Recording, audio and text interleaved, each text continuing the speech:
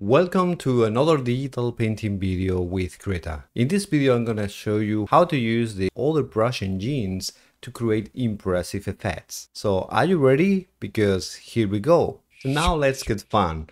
The first brush we have here is this one. It seems to be nothing special, but let me show you. This is an addition that has recently been added to Krita. This is using the spray brush engine. You remember I did a video about the spray brush engine and it was covering most of the parameters that you can find in the brush engine. So let's continue with this brush because if I go to the brush editor you can see the spray area has been modified in this part if you compare with the other video.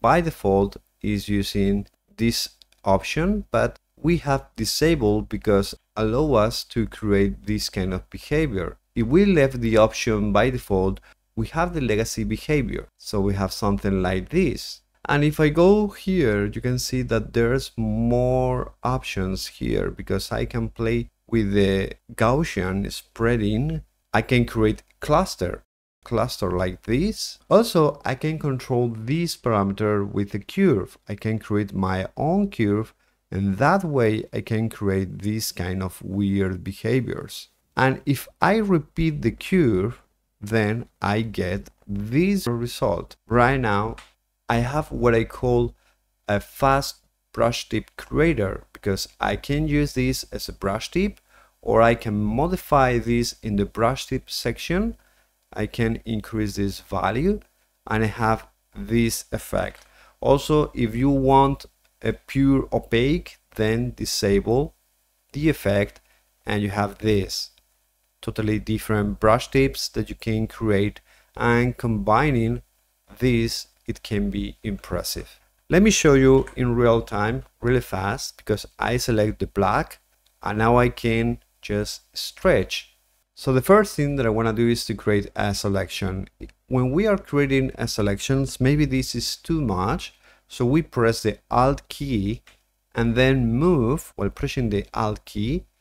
And then we readjust. I release the Alt key and then I have this. Now I go to the brush editor and then I go to the brush tip section and in the predefine, I'm going to stamp and then I have this and I select the name XX. Let me let me check this faster. And I reduce this by default and I don't want to preserve the alpha channel and save. Go to the brush tip. I can go here and then go to predefine and search for the XX. I can make this bigger and I have my brush tip is working, but I'm going to reduce this and now is almost done. I reduce the flow to achieve this kind of bristle effect. Isn't it cool?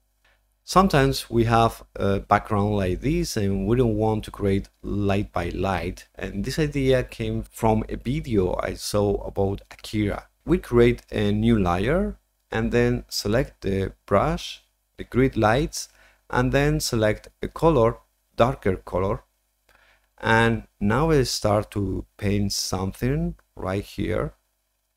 And you can see how its its light is positioned in a vertical grid alignment. As I have created a new layer I have all my lights here so I can duplicate and filter blur Gaussian blur and I'm gonna blur this not too much. And now I'm going to put this in a color dodge or in addition to and that way I reinforce the effect as you can see here. And how can I change the size of the lights? Well, you can see I'm using the grid engine. Right now we are using 13, so I can use more and I can create this kind of effect. But we can increase the uh, square size. And how? We can go here and then select the same amount of pixels. And now we have bigger squares. Okay, I can just drawing right here to see the effect. You can select another shape in the particle type. So right now is a rectangle. So I can select, for example, the ellipse. I can go to the brush size and then reduce the heating. I have the effect, but I'm going to remove the vertical border. It's like stretching the shape. You can see right now, if I use this, I'm stretching in the vertical. And if I go here, I can stretch in the horizontal. I can compress horizontally. So maybe you want something like this. And that way you can create also this kind of interesting behavior. Why the color is varying between each circle? Because I have in the color options, in the color options, I have randomized the color. But I can use this to create a party or color. So I can select maybe this, or I can go even further because if I use this, now this is the color, another color, other color.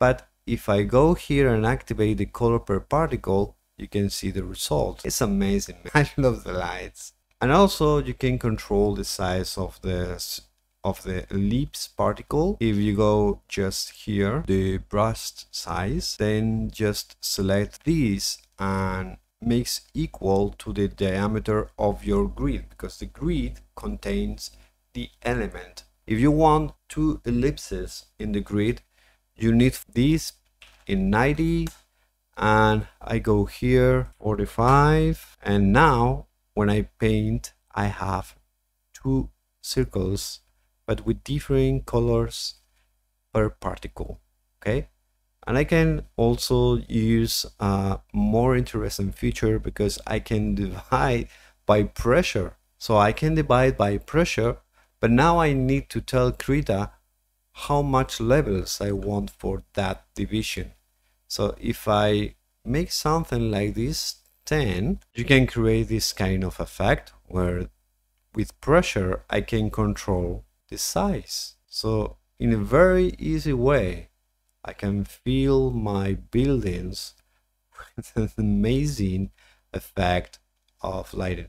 Perfect for a sci-fi. What about the energy, Raymond? If you are thinking about energy, you probably want to create this kind of brushstroke. It's like something that is coming from her hand. So let's go to reproduce it. To do that, I have to select one of these brushes that is prepared to create or a soft effect. So first I'm going to create uh, a layer above everything and then I can create this kind of effect but it's very subtle. But by default this can create this kind of uh, light rays okay? So maybe you can see that is too sharp. So I can create a copy of this and then I can go to the filter and as you may guess I'm going to apply a Gaussian blur. It's not too much but around this value maybe something like this. And I can create a glowing effect and that's it. And if you want to create a lighter effect we can use also the blending modes because we can use the color dodge or we can use the addition and if we don't like the color of the light ray we can just select and then go to the filter adjust and go to the HSB adjustment so we can or colorize or we can just make a hue variation. It is very useful to have everything separated because that way we can change the color separately. And to make this non-destructive, we can select the create filter mask. So now we can recover the previous color or stay with the modify. So I hope you like it. Also, if you see that when you zoom in, then you have this kind of lines structure. You can blur this going to filter, just blur it again and blur and make this something like this, okay? And create filter mask. Maybe you like it more that way.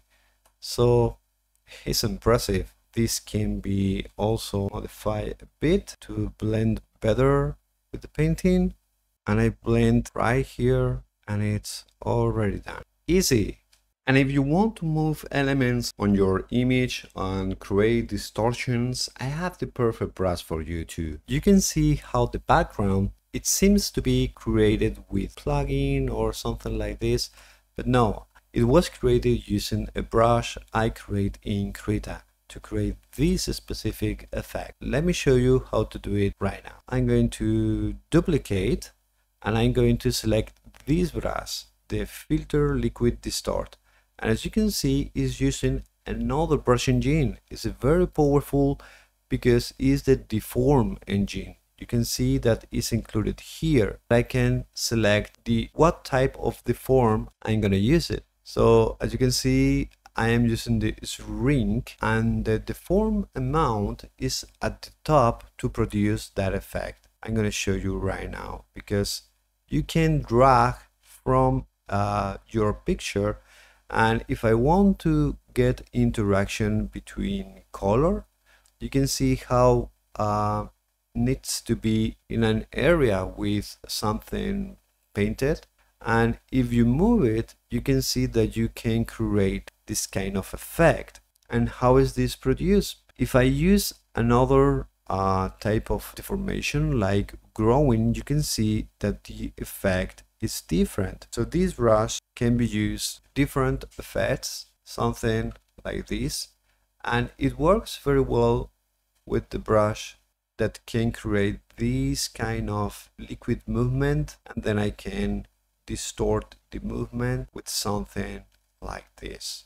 Think this is enough because we have more content. In the previous video we talked about how to create patterns, seamless patterns. So let's select this brush and let's go to create a new. I'm going to select here the texture, this, and I create an image. And I'm going to wrap around mode and start painting. You can see I'm going to finish in a couple of seconds. We will see the what this can produce. Okay, let's go to the filter and then go to the again as in the previous video to the edge detection and let's select the right edge and let's go to the subtle and you see I can create this kind of uh, like paper texture. So I create a filter mask, the filter, blur, Gaussian blur, and use it as it is. You can click OK. And you can, for example, create a new layer, fill with white, and done. You have a paper created in seconds with this brush. Isn't it cool? Blending modes are really useful to control the lighting effects of our scene. For example, imagine I want to create cave interior, create lava or something that is going to break the wall. So how will you do it? You can draw everything, but let me show you one thing because if I go to the texture section, I found this brush, which is called the texture rocks.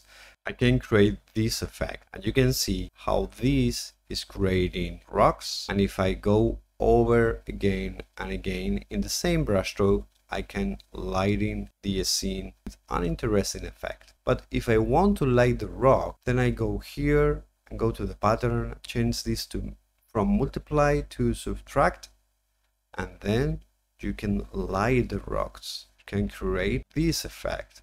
And it gives you a lot of power because you can also create a fracture in the rocks because if I go to the multiply again and reduce this I can create this kind of fracture and remember we are only using one single brush. Imagine you want to create this effect from scratch. So you select this brush, the basic 2 opacity, and then go to the brush editor and go to the painting mode and change this from wash to build up and that way we achieve an incremental effect on the blending mode that is applied to the stroke. And I have this effect okay? It's a normal brush. If I go to the addition you will see the lighting effect right now. If I go to darker color you see a more color range here. And how we can achieve the textured effect? We go to the pattern and then activate the pattern we need for this specific effect and then you have the stones created. Easy. In the next video, we will be covering all the general options that we can find in the brush editor. I will show you how I create my own brushes with all the tricks I use. Don't miss it just enjoy it. And don't forget we have a lot of more contents in the channel. You can watch them and learn a lot with all the tricks, brushes or bundles that the videos contains. So enjoy them. See you next time. Bye.